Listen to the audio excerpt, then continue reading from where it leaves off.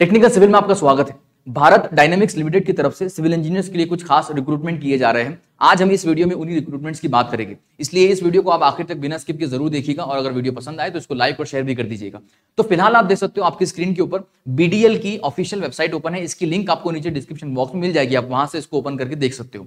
तो यहाँ इनके मेन्यू के अंदर आपको करियर का एक ऑप्शन दिख रहा है। आपको करियर पे क्लिक करना है। करियर पे क्लिक करते ही उनका जो ऑफिशियल रिक्रूटमेंट पेज है वो ओपन हो जाएगा। और यहाँ पर आपको डिफरेंट डिफरेंट जो पोजीशन पर इन्विटेशन या एडवर्टीजमेंट उन्होंने पब्लिश किए हैं, वो सारे आपके सामने आ जाएँगे। अब यहाँ आपको recruitment of GM HR DGM SM manager DM AM in civil और एक्सप्लोजिव ये आपको सारा एक जो नोटिफिकेशन है, ये दिख रहा होगा, आपको इस पर क्लिक करना है। आप जैसे इस पर क्लिक करोगे, वैसे ही आपके सामने एक नया पीडीएफ फ़ाइल ओपन हो जाएगा। इस पीडीएफ फ़ाइल में आपको इन वैकेंसीज की इस रिक्रूटमेंट की तमाम डिटेल्स जो है, वो दे रखी है। आप चाहो तो यहाँ पर डिटेल में इसको पढ़ सकते हो। शुरुआत में आपको बीडीएल की कुछ बेसिक इन्फॉर्मेशन दे रखी है। आप इसको आराम से पढ़ लीजिएगा, ठीक है? उसके बाद यहाँ पर आपको बताया गया है, इनकी जो डिटेल ऑफ़ वैकेंसीज है, उसकी बात की गई है। और उससे पहले आपको ध्यान रख लेना चाहिए कि जो भी एलिजिबल और इंटरेस्टेड कैंडिडेट होंगे, वो ऑनलाइन अप्लाई कर सकेंगे।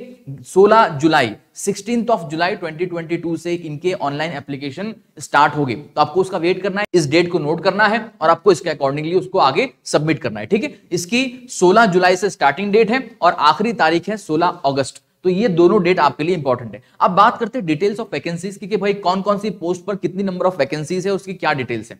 तो अगर बात की जाए सिविल के लिए तो देखिए ये डेप्यूटी सिविल मैनेजर जो है, ये पोजीशन है जिसमें वैकेंसी एक है, जो कि अनरिजर्व है। उनकी अगर सैलरी की बात की जाए तो 80,000 two two lakh twenty thousand per month आपको यहाँ पर सैलरी दी जाएगी।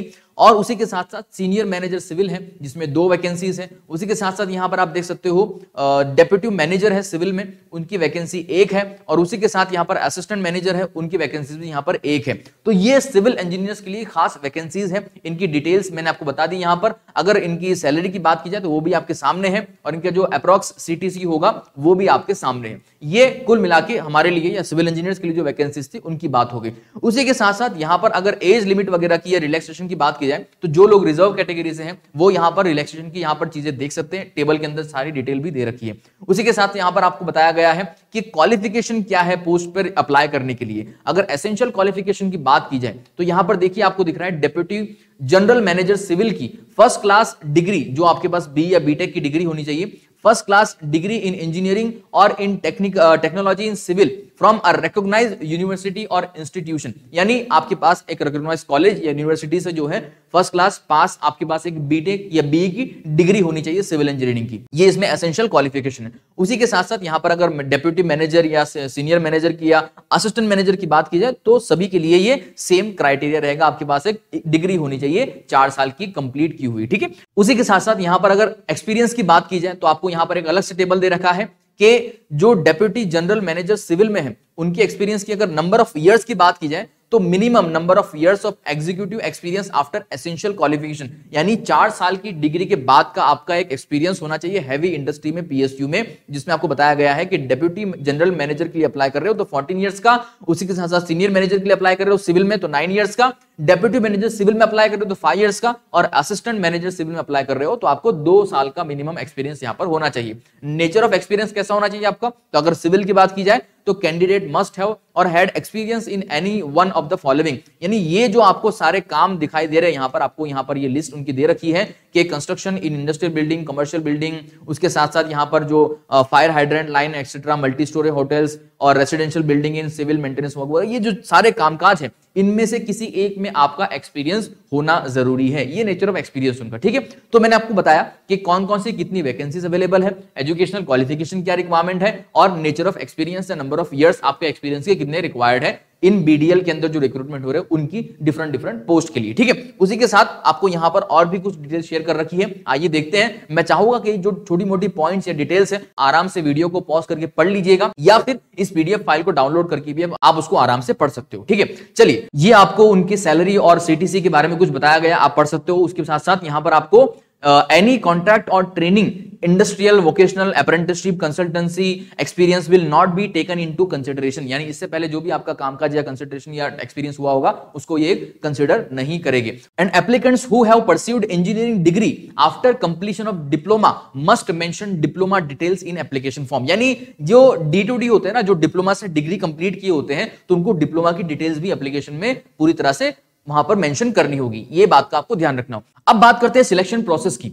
तो सिलेक्शन प्रोसेस की अगर बात की जाए सिविल इंजीनियर्स के लिए तो ये डायरेक्ट रिक्रूटमेंट होगा आपका, यानी आपको आपकी जो एप्लीकेशन आपने सबमिट की होगी, उसके डिटेल और डेटा के मुताबिक आपको जो है शॉर्टलिस्ट किया जाएगा और शॉर्टलिस्ट करने के बाद आपको एक इंटरव्यू के लिए कॉल लेटर भेजा जाएगा आपको बाय पोस्ट या ईमेल के द्वारा, ठीक है? आपको जो इंटरव्यू के लिए बुलाया जाएगा और इंटरव्यू के बेस पर आपका फाइनल सिलेक्शन होगा यह आपको ध्यान रखना होगा। आप अगर सिविल इंजीनियर के तौर पर चाहे वो कोई भी पोस्ट हो सिविल इंजीनियर के लिए डेप्यूटी मैनेजर हो या फिर असिस्टेंट मैनेजर हो या फिर सीनियर मैनेजर हो, जो भी सिविल इंजीनियर के लिए पोस्ट है, उनके लिए आपको डायरेक्ट इंटरव्यू होगा, इंटरव्यू के बेस पर आपका फाइनल सिलेक्शन होगा। और जितने भी शॉर्टलिस्टेड कैंडिडेट होंगे, वो अपनी वेबसाइट पर उनके नाम डिस्प्ले करेंगे, आपको उसके अकॉर्डिंगली आगे मेल से वो लोग कम्युनिकेट भी करेगी, ठीक है? इसलिए आपको मेल भी, वही मेल आईडी भी वही देनी है, जिसको आप रेगुलरली यूज़ करते हो, और जो आपकी ऑफिशियल या अपनी खुद की एक यूज़ में हो, ऐसी मेल आईडी आपको देनी है जिससे आप रोज चेक कर सको। चलिए, अब ये पे और पर्स की कुछ बात है, या आप आराम से पढ़ लीजिएगा, इनकी तरफ़ से जो अलाउंस वगैरह आपको मिलेगा, उसके बारे में ज़िक्र है। उसी के साथ साथ आपको मेडिकल स्टैंडर्ड भी उनके फुलफिल करने पड़ेगा मेडिकली फिटनेस का सर्टिफिकेट भी आपको वहाँ पर देना पड़ेगा, एक छोटा सा एग्जामिनेशन होगा उसका भी,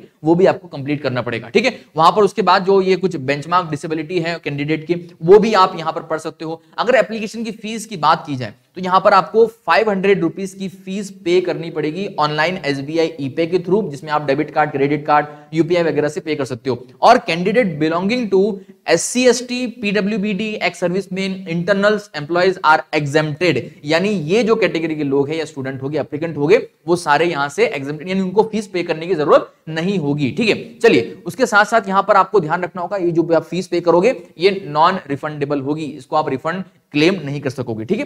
चलिए, वहाँ पर उसके बाद फिर यहाँ जनरल कंडीशन कुछ दे रखे मैं चाहूँगा कि इन सभी जनरल कंडीशंस को एक बार आप खुद ब खुद पढ़ लीजिएगा और वहाँ पर जानकारी जो भी दे रखी है, उसको आप समझ लीजिएगा। अगर आपको समझ नहीं आता तो गूगल ट्रांसलेट का इस्तेमाल करके हिंदी में अनुवाद करके उसको पढ़ लीजिएगा, ठीक है? अब यहाँ पर आपको कुछ मैंडेटरी डॉक्यूमेंट्स के बारे में बताया गया है कि ये डॉक्यूमेंट्स आप लोगों के लिए ज़रूरी है। सबसे पहली बात की अगर की जाए तो following documents are mandatory in nature without which candidature of applicant will not be consider यानी इन डॉक्यूमेंट्स के बिना आपका जो एप्लीकेशन है वो कंसिडर नहीं किया जाएगा। सबसे पहले आपको कहा गया duly signed print out of registration slip generated after successful submission of online application यानी आप ऑनलाइन जो एप्लीकेशन भरोगे, उसके बाद आपको एक स्लिप मिलेगी, आपको उसकी प्रिंट आउट लेनी पड़ेगी साथ में, ठीक है? उसी के साथ साथ self attested copies of the following document यानी ये जो आठ डॉक्यूमेंट आपको दे रखे, या जो नौ दस डॉक्यूमेंट आपको दे रखे, इनकी सेल्फ अटेस्टेड कॉपी भी आपको रखनी है। जब आप इंटरव्यू के लिए जाओगे तो आपको साथ में सारे ले जाने हैं। उसी के साथ यहाँ पर आपको पहला डॉक्यूमेंट है, मैं चाहूँगा आप आराम से इतमान से वन बाय वन सारे डॉक्यूमेंट्स पढ़ लीजिएगा, लिख लीजिएगा इन सब चीज़ों को और ये सारे डॉक्यूमेंट अगर आप इसमें अप्लाई करना चाहते हो तो ये सारे डॉक्यूमेंट की आप प्रिंट आउट निकाल के अपने पास अलग से फ़ाइल बनवा लीजिएगा, ताकि आप जिस दिन इंटरव्यू देने जाओ तो आप ये सारे डॉक्यूमेंट साथ में ले जा सको। ठीक है? ये डिटेल्स आपको सामने दे रखी है, आप पढ़ लीजिएगा। अब देते हैं कि आपको अप्लाई कैसे करना है। तो जैसे कि बताया गया है कि 16 तारीख से ऑनलाइन एप्लीकेशन स्टार्ट हो गए। इसलिए आपको इस डेट को और इस टाइम को नोट करना है और इस डेट पे आपको इनकी जो ऑफिशियल रिक्रूटमेंट पेज है, वहाँ पर जाना है। आपको यहाँ पर देखिए, इस एडवर्टीजमेंट के नीचे ऑप्शन आ जाएगा ऑनलाइन अप्लाई करने के लिए। आपको यहाँ से सोलह तारीख से एप्लीकेशन शुरू हो जाएगी तो वहीं से आपको अप्लाई करना होगा, ठीक है? तो ये था बीडीएल के अंदर सिविल इंजीनियर्स के लिए जो खास रिक्रूटमेंट किए जा रहे कुछ अहम पोस्ट के ऊपर उनकी छोटी सी अपडेट उम्मीद है आपको इन अपडेट्स के बारे में, इन वैकेंसीज के बारे में सारी डिटेल्स मिल गई होगी। ये कुछ इंपॉर्टेंट डेट्स हैं, ये भी आप नोट कर लीजिएगा। इनके अलावा अगर आपको कोई क्वेरी है इन वैकेंसीज को लेकर या इनकी रिक्वायरमेंट को लेकर या और किसी चीज़ को लेकर तो ये आप उनके ऑफिशियल ईमेल एड्रेस पर आप अपनी क्वेरी को मेल करके पूछ सकते हो, ठीक है? तो ये था इनकी पूरी अपडेट्स के बारे में छोटा सा वीडियो उम्मीद है आपको इसके बारे में सारी जानकारी मिल गई होगी। इसी तरह से और भी ढेर सारी वीडियोस और अपडेट्स आप तक पहुँचती रहेगी, इसलिए आप हमारे यूट्यूब चैनल के साथ बने रहिएगा। मिलते हैं अगले वीडियो में। धन्यवाद।